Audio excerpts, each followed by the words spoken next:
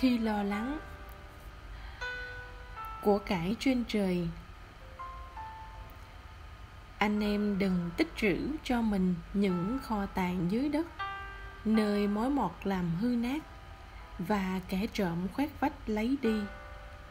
Nhưng hãy tích trữ cho mình những kho tàng trên trời, nơi mối mọt không làm hư nát và kẻ trộm không khoét vách lấy đi vì kho tàng của anh ở đâu, thì lòng anh ở đó.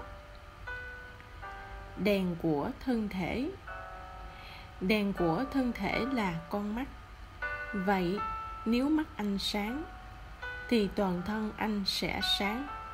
Còn nếu mắt anh xấu, thì toàn thân anh sẽ tối. Vậy nếu ánh sáng nơi anh lại thành bóng tối, thì tối biết chừng nào không thể vừa làm tôi thiên chúa, vừa làm tôi tiền của. Không ai có thể làm tôi hai chủ, vì hoặc sẽ ghét chủ này mà yêu chủ kia, hoặc sẽ gắn bó với chủ này mà khinh dễ chủ nọ. Anh em không thể vừa làm tôi thiên chúa, vừa làm tôi tiền của được. Tin tưởng vào chúa quan phòng vì vậy, thầy bảo cho anh em biết, đừng lo cho mạng sống, lấy gì mà ăn. Cũng đừng lo cho thân thể, lấy gì mà mặc. Mạng sống chẳng trọng hơn của ăn, và thân thể chẳng trọng hơn áo mặc sao.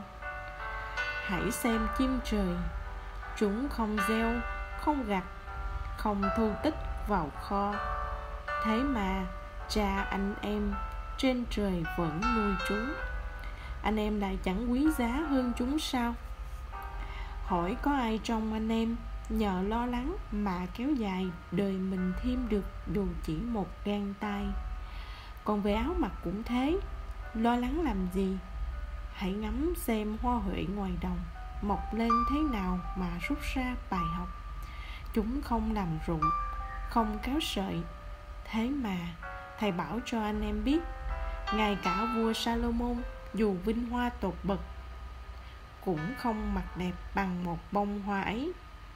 Vậy nếu hoa cỏ ngoài đồng, nay còn, mai đã quẳng vào lò, mà thiên chúa còn mặc đẹp cho như thế, thì huống hồ là anh em, ôi những kẻ kém tin.